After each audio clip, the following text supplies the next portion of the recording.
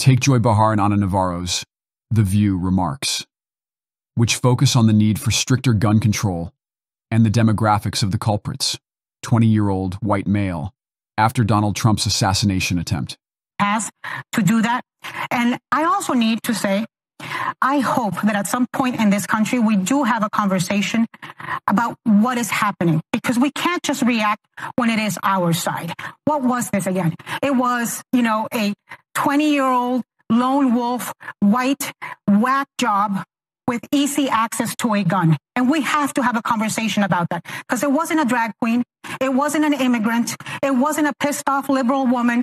This is, and this keeps happening. And we need to react not as left or right, not as Republicans or Democrats. We need to react as Americans. Right. And we need to ask better. Okay, I just want to add that uh, the the uh, shooter, um, yes, he was a 20 year old kitchen worker from nearby Bethel, Bethel Park in Pennsylvania.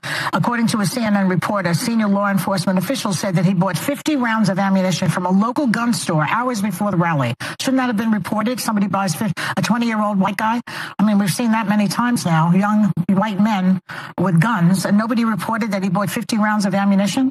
Well, there's well, there's also a, a post mortem, as Alyssa The Second Amendment is important as the Second Amendment considers it a fundamental right that should not be violated by the actions of some individuals. The focus on the shooter's demographics has deviated from the actual problem of preserving constitutional rights.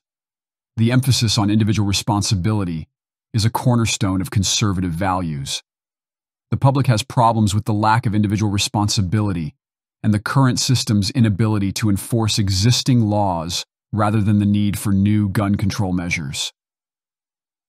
Joy Behar and Ana Navarro's remarks may seem politically motivated to use tragic events to promote progressive agendas and slander certain classes.